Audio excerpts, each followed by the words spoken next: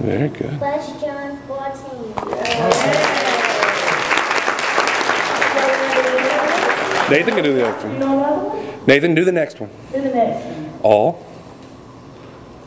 Oh, have sinned.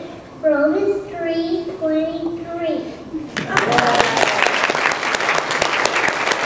That's awesome. Good, good. Well, let me tell you something.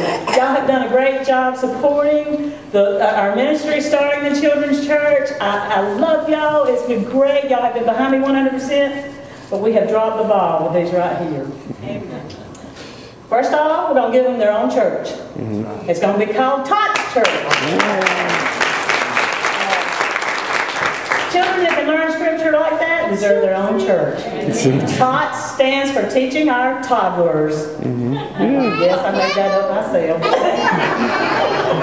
Not yet. Um. Stay. They have been going to extended care. We dropped the ball on the who are strong in the Lord, strong in their walk, who know that they can miss church one Sunday a month and feed themselves. I, I I mean, I need mature Christian women who can be dedicated to this ministry. I want, uh, they're going to start coming in here um, until the choir sings their special every Sunday, so that kind of brings up people who are in the choir if you feel called to that. And um, just see me. I will help you. I have resources. I, like Melissa King today took it and she did it. She had Jamboree. I said, no problem. I'll write you a little program. How did it go? That's great.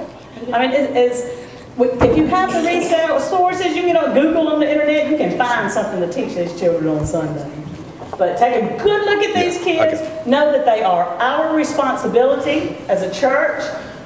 And when you feel that calling and that stirring in your heart, just come see me after church and I'll sign you up. Don't we go sit with your moms and dads now and grandmothers and Oh, wait. I All gotta go back there with Al. No, you got to come with me.